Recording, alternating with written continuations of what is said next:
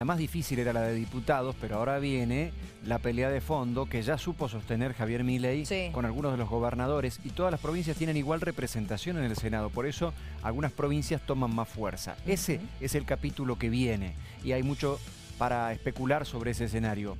Ahora, la ley de bases y el paquete fiscal tuvo Sí. después de 30 horas de debate, algún, eh, una aprobación a nivel general en la madrugada y después artículo por artículo. ¿Qué salió de aquí? Para entrar en un detalle que ya hemos repasado, pero pudo haber tenido cambios en el debate en el recinto.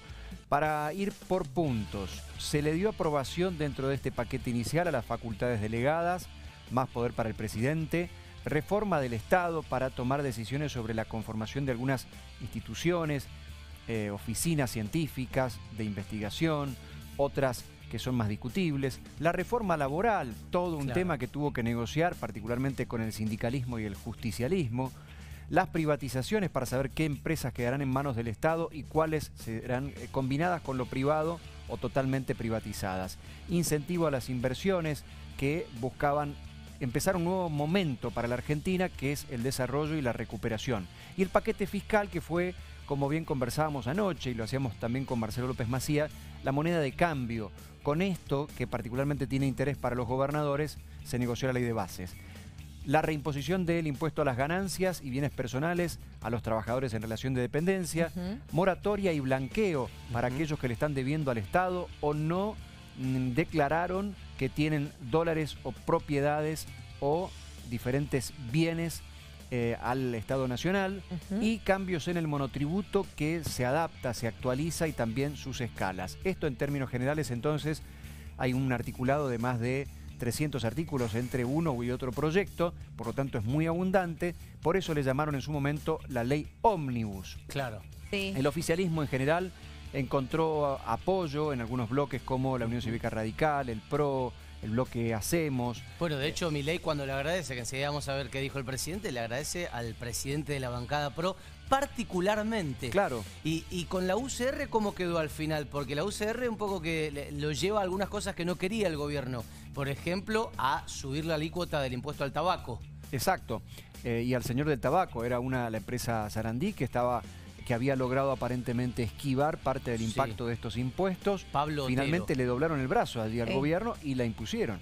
Exactamente, por eso te digo, lo, lo celebra mucho a los Penato, a la celebra a los Penato y a, y a Ritondo, la UCR que se le movió un poquito ahí, pero que le ayudó a traccionar el tema laboral. Sí, sí, sin duda, es, era la, el, el eje más importante para el radicalismo. Quería avanzar en esta reforma, en, en esta oportunidad, y lo tuvo también. Sí. Un radicalismo que en ambas cámaras se ha movido de manera parcial, a veces apoyando la, la ley en términos generales y en el articulado reclamando algunos sectores por cambios específicos. Así se movió en el día de hoy, pero en definitiva le dio el aval necesario.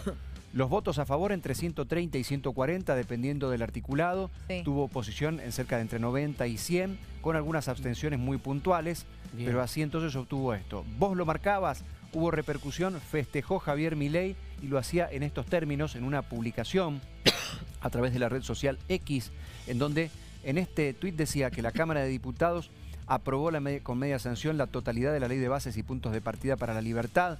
Un primer paso fundamental para sacar a Argentina del pantano, dijo, que ha sido la última, las últimas décadas. Agradece la enorme tarea de todos los diputados que entendiendo el momento histórico decidieron acompañar el proyecto. Con este primer paso estamos, dijo Milei, cada vez más cerca del poder encontrarnos el 25 de mayo en la Sí. Docta, en Córdoba, para dar Ahí, inicio Pablo, a una nueva era de prosperidad para la Argentina. vuelve la posibilidad de que estén todos los gobernadores, porque uno de los rumores políticos del fin de semana era que algunos los diera de baja, que a los peronistas concretamente Sí. no los invitara finalmente al, al pacto de mayo. Creo que eso queda echado por tierra, sobre Claro. todo a partir de lo de hoy. Él mismo lo relativizó porque dijo, y si no apoyan el cambio, ¿para qué van a ir a firmar un cambio más de fondo, Mm. más estructural? El propio Milei el domingo en alguna entrevista. Ah, por eso si hace ahora lo hace. referencia específicamente a esto. Claro, ahora tiene un elemento que quizá lo envalentona, lo pone Sí. un poco más eufórico y quizá extiende la invitación. ¿Y cuál Fíjense, sí. cierra con una frase de San Martín, seamos libres, que lo demás no importa nada, uno de los latiguillos más importantes que ha dejado la historia argentina. ¿Y, y cuáles son las perspectivas para el Senado, Pablo? Bueno, el Senado tiene eh, más, como decíamos, más representación de las provincias, pero los mismos compromisos originarios de los gobernadores que habían sido obstáculos. Yarlora,